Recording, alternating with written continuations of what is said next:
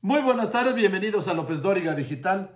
Yo soy Joaquín López Dóriga, esto es lópezdóriga.com y estas son las noticias de esta tarde de viernes 29 de enero. Se acaba enero, el domingo es 31. La economía mexicana cayó 8,5% el año pasado.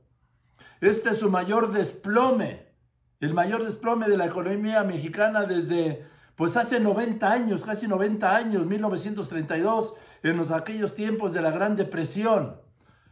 No obstante, Hacienda mantiene su estimado para crecer este año el 4.6%. El subsecretario Llorio dijo que la recuperación económica depende de que todos los mexicanos estemos vacunados y calcula que eso se logrará en el primer trimestre, pero del año que viene.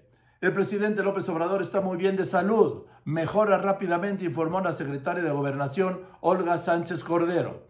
La Ciudad de México continuará en semáforo verde la semana próxima, aunque va a permitir reabrir las actividades económicas al aire libre. Es la, la lucha entre la crisis sanitaria y la crisis económica. El Estado de México seguirá en rojo dos semanas más, pero abrirá centros comerciales aquí en la ciudad, ¿no? La Ciudad de México, ¿no? Y restaurantes.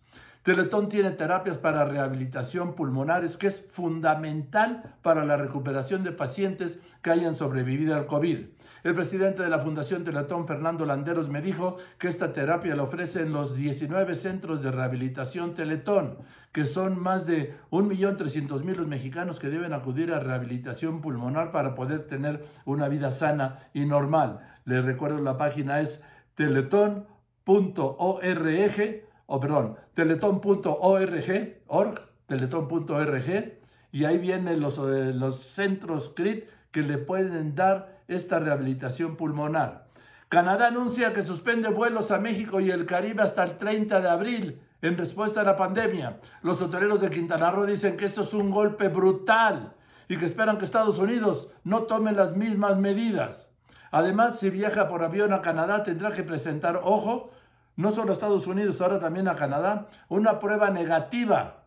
Y además de la prueba negativa, hacer un confinamiento de 14 días y pagar ese confinamiento, esa estancia, por su propia cuenta. Francia acaba de decretar el cierre de todas sus fronteras a los países que no sean de la Unión Europea. Solo permitirá la entrada por motivos imperiosos. Identifican en Jalisco a cuatro pacientes con la variante de COVID detectada en Brasil y en Sudáfrica. Esto lo dio a conocer el gobernador Enrique Alfaro.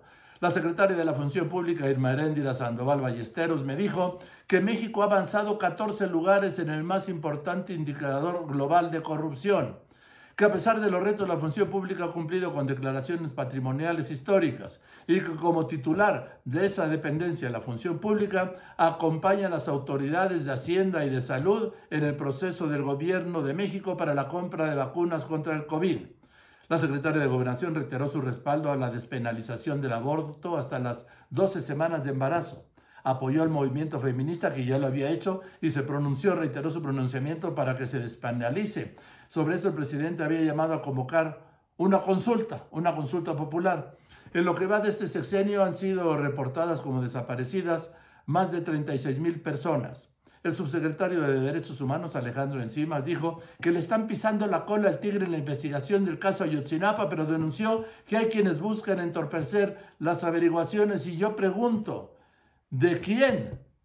¿De qué tigre es esa cola que ya está pisando? Y también le pregunta Alejandro Encinas, Alejandro, ¿quiénes buscan entorpecer esas averiguaciones? Morena va a registrar contra lo que sea el domingo a Félix Salgado Macedonio como precandidato al gobierno de Guerrero, a pesar de las denuncias en su contra por abuso sexual y de las mujeres que no lo quieren, las mujeres de Morena. El lunes, esto es muy importante, el lunes reanuda operaciones la línea 3 del metro de la Ciudad de México, lo que es, para lo que habían dicho de 3 a 5 meses, un gran avance. El gobierno de Joe Biden va a crear un grupo de trabajo para reunir a familias separadas por Trump a las políticas de Trump. En este momento el dólar interbancario en el mundo, pues el peso se ha depreciado un poco, se está cotizando en el mundo, el interbancario en 20.55. Y hasta ahora aquí en Ventanillas, en México, lo están vendiendo en 20 pesos con 86 centavos. Yo soy Joaquín López Dóriga, esto es lópezdóriga.com y usted, y usted está informado. Gracias y buen fin de semana.